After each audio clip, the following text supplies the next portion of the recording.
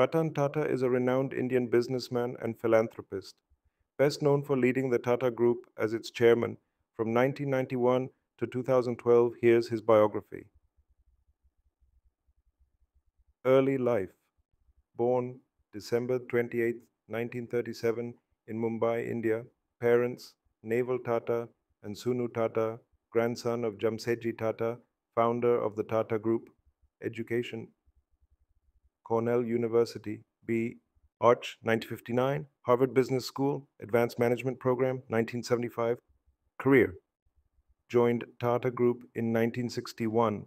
Became chairman of Tata Industries in 1981. Chairman of Tata Group, 1991 2012. Led acquisitions of Tetley, 2000. Corus Group, 2007.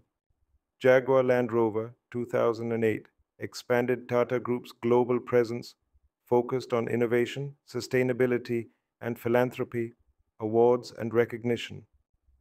Padma Vibhushan 2008, Knight Grand Cross of the Order of the British Empire 2014, honorary doctorates from several universities, philanthropy.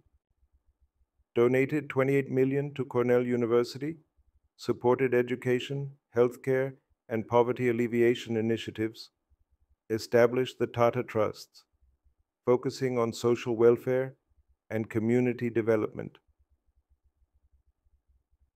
Personal life unmarried, devoted to his work and philanthropy, known for simplicity, humility, and integrity, passionate about cars, photography, and flying, legacy transformed Tata Group into a global conglomerate, inspired a new generation of Indian entrepreneurs, embodied the values of ethics, compassion, and social responsibility.